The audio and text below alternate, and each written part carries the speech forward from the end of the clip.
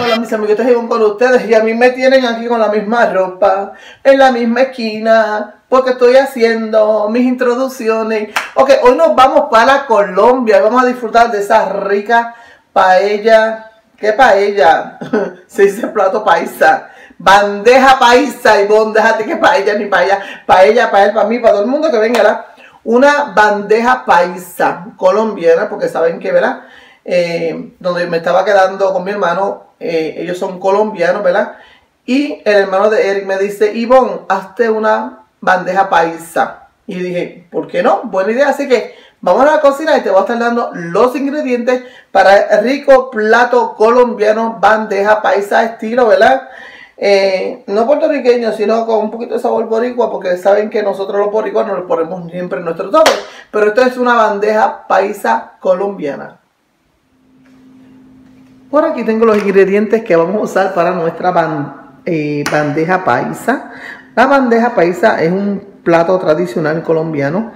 Y como saben, ¿verdad? Eh, Eric y su hermano eh, pues son colombianos y querían, ¿verdad? Que yo le hiciera esta bandeja paisa para la hermana porque Eric ya sabes que está en Miami. Ok. Por aquí tengo chorizo colombiano. Necesitamos chorizo. Necesitamos harina pan para hacer, porque esto lleva arepa, lleva aguacate, un huevo frito, plátano maduro, frito. Por aquí tenemos lo que es el chicharrón, ya yo lo tengo adobado. Y por aquí tengo una carnita eh, molida que ya también cociné, está cocida. Y por aquí hablan de unas habichuelas que vamos a guisar. Estas habichuelas eh, las pueden ver, yo tengo una un link abajo, le voy a dejar aquí abajito cómo hacer las habichuelas colombianas. ¿Ok? Así que lo primero que vamos a, comenzar es eh, poniendo nuestro chicharrón. Eh, porque eso se va a hacer todo a la misma vez. Voy a poner las habichuelas, el arroz. Eh, voy a hacer la arepa, todo a la misma vez. Así que lo primero que vamos a hacer, nuestro, porque esto se tarda más, nuestro chicharrón.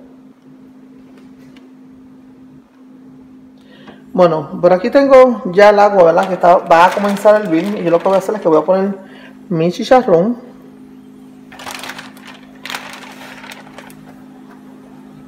Y este chicharrón más o menos se cocina como por eh, media hora. Recuerde que le va a botar su grasita y se va a cocinar en su mismo aceite. No necesitamos echarle aceite. ¿Ok? Ahí está. Vamos a dejar de la que comience a hervir. Lo tapamos y le, le bajamos el fuego a mediano. Cuando empiece a hervir lo tapamos y lo dejamos ahí por lo menos 20 minutos volteándolo para que se cocine y ven por ambos lados, ¿ok? Bueno, parte de nuestra bandeja paisa son las habichuelas guisadas. Aquí estamos guisando las habichuelas, ¿verdad? Por aquí tengo lo que es el chicharrón. Se está cocinando. Tengo ajo. Por aquí tengo mi arrocera. Sabes que como somos pocas personas, ya no uso la olla regular. Estoy usando mi arrocera, ¿ok? Ahora vamos a hacer lo que es la arepa. Bueno, aquí tengo una taza medidora y recuerden, yo no voy a hacer muchas arepas, así que eh, yo voy a hacer media taza. Media taza porque yo lo que quiero hacer lo que es el plato, ¿verdad? Eh, para que vean cómo necesita arepa, pues yo le voy a hacer su arepa. Ok, para nuestra arepa, aquí tengo un poquito de sal. Y le voy a poner mantequilla. Eh, más o menos ahí como media cucharadita de mantequilla, ¿verdad? Y le vamos a poner agua y vamos a menear.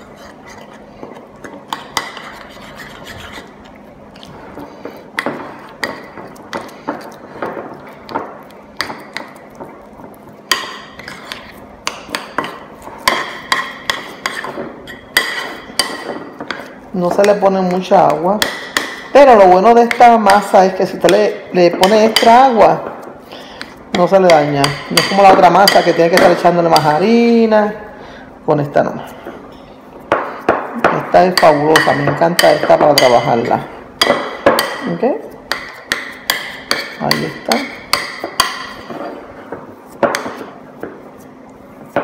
Yo le voy a echar dos cucharitas más de agua. una y vamos a volver a menear.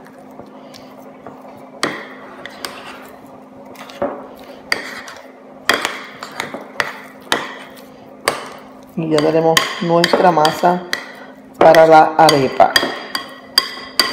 Así de fácil. Sencillito ahora se hacen aquí salen dos arepitas. Mire fácil mire. Dos. Ahí salen dos arepitas y no son van a ser bastante eh, grandecitas no van a ser pequeñitas. Así que con media taza de, de harina hacemos dos arepas. Ok ahí está. Aquí yo la voy a dejar para cuando ya esté casi lista la comida verdad comiendo nuestras arepitas calientitas recuerden lo, primero que tú tienes que poner a cocinar es el chicharrón porque eso se tarda hay gente que lo fríe en aceite yo lo pongo a hervir en agua que se cocine y después que se cocine, entonces pues con la misma grasa que suelta el, chicharrón, no tiene que usar aceite, ¿sabes? pero tiene que tener mucho cuidado porque cuando empieza a soltar la grasa empieza a brincar y puede darle una quema bien fea. Ok, vamos a dejarlo aquí, van, a salir dos arepas y por allí tengo el huevo y tengo el aguacate. El huevo eh, pues lo vamos a freír cuando ya tengamos el plato listo, ¿ok? Así que Vamos a esperar que...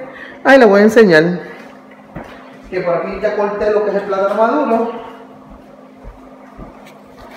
Ahí está. Y tengo el chorizo ahí también eh, ready para freír. Bueno, mis amores, les voy a enseñar un truco que yo hago cuando hago las pupusas. Me quedan fenomenales. Yo hice la bolita, ¿verdad? Vamos a ver mi cámara por aquí para que ustedes puedan hacerlo mejor. Ok. Eh, aquí yo corté de las bolsitas que dan en Walmart o en Hobby Lobby, donde quiera que usted vaya, ¿verdad? Ponemos un pedacito de bolsa, como este. Cogemos nuestra masa, le ponemos bien redondita, la ponemos al centro, ¿verdad? Y le ponemos la otra bolsita y con la mano presionamos un poquito. Y con lo que es el picador, la ponemos y le hacemos presión, no mucha. No mucha presión porque no queremos ¿verdad? que nos quede muy aplastada. Y entonces, ¿qué hacemos? Le pone la misma bolsita, le ponemos los redondeles eh, o con la mano, ¿verdad? Simplemente lo arreglamos un poco así. Pero yo le aconsejo que con la bolsita es mucho mejor porque no se le pega la mano y queda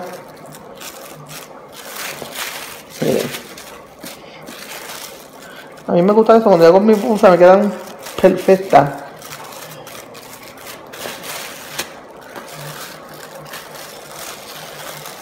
me quedan súper súper súper súper de bien y así mismo con este método usted puede hacer eh, su gordita ¿verdad? Para esas personas, ¿verdad? Que dicen, ay, pero es que yo no sé, que no me quedan redonditas, no me quedan bonitas.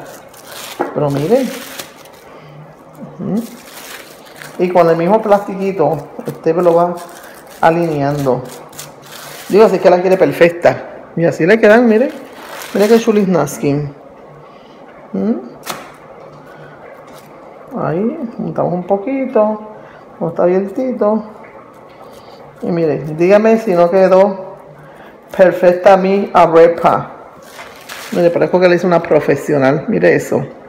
Fácil y sencillo. Así que usted viene, pa, coge su arepita. Otra, para que aprenda. Cuando es, por ejemplo, la pupusa, así mismo, usted en el medio, abre, pa, pone el relleno, tapa, vuelve a poner redondo y pone aquí. Le pone el plástico, el plastiquito, pa, Déjame coger esta proporción aquí. Y con. Porque con el rodillo no me gusta. Me gusta así. entonces ponemos redondito ahí. Mire. Esta así que me va a quedar perfecta. Mire. Ahí está. Perfecta, mire. ¿Mm? Mire. Ah, ay, mire. Se me sale. Ah, pero no importa, no importa, mire. ¿Qué importa? Usted viene y pa. La hace otra vez. La aprieta bien. La pone en el medio. Aquí. Y con esto presión con la mano, no mucha. Y esto así, le va dando vueltitas. Pa, pa, pa. Con el mismo dedo, mire. Estoy dando la vueltita para que cosa que se vayan, eh, que vaya quedando perfecta. Ahora sí. Mire. ¿ah? Dígame, dígame que no le gustó su arepa. ¿Mm? Ahí está. Mire. Ahí está. Ahora sí. Mire, redondita. Bien churisnaki, bien original. Bien profesional, bien profe. Así que aquí tengo dos arepas. Mire qué fácil, qué sencillo. Así que aprendieron a hacer arepitas para su bandeja paisa o para esta le, mete queso adentro, mire, usted le mete huevo, le mete carne, le mete de todo. Quedan riquísimas. Están como las venezolanas también, así que vamos con el siguiente paso. Por aquí tenemos la carne. Eh, ya le subí un poco el fuego, un poquito más. Y recuerde estar meneándola para que se cocine parejo, ¿ok? yo le di la vueltita, esto lo que tiene que ser, que la coge guáquete y guá, la vira. Pero como ya yo la había virado, voy a ponerla para el mismo lado. Ahí. Y eso se cocina bien rico. Y ahí mismo con ese aceitito que va soltando se va a freír. ¿Ok?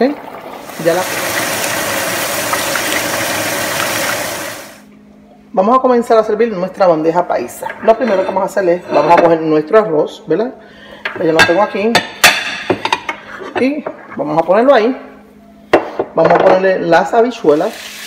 Ok, por aquí le pusimos nuestro chicharrón, nuestro plátano maduro. Vamos a ponerle también por aquí lo que es el chorizo.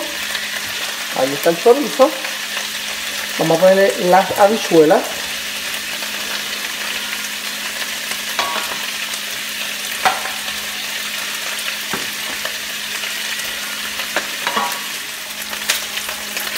Nuestras habichuelas, vamos a ponérselas por aquí ladito. Ahí están las habichuelas. Vamos a ponerle lo que es la arepa. Por aquí le vamos a poner la arepita. Y el huevo encima. Y el pedazo de aguacate. Y así termina nuestra bandeja paisa. Vamos a poner nuestro huevo encima del arroz blanco. Y lo que le falta es la carnita, ¿verdad?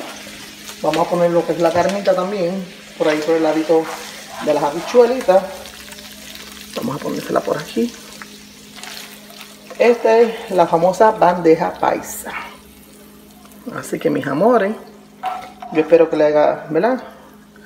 Eh, gustado esta recetita para complacer las peticiones. Así que vamos a sacarle la foto. Bueno, ¿y qué es lo que le falta para hacer una rica bandeja paisa? ¿Mm? Le falta su aguacate. Ahí está, ¿verdad? Le vamos a poner dos pedazos de aguacate. Y como pueden ver, aquí está mi bandeja paisa. Ahí está. Vamos a ponerle por la, la tortillita por aquí abajo. Ahí está. Ahora sí. La arepa, el chicharrón, el chorizo, el aguacate, el huevito, la carne molida, la bichuela, el plátano maduro y así termina mi bandeja paisa. Así que Dios me lo bendiga. No olvides suscribirte. Regalarme un like desde mi cocina a tu cocina. Cocinando con Ivonne. Saludos a nuestros hermanos colombianos allá en Colombia y a todos, ¿verdad? Los que están en mi página. Besitos.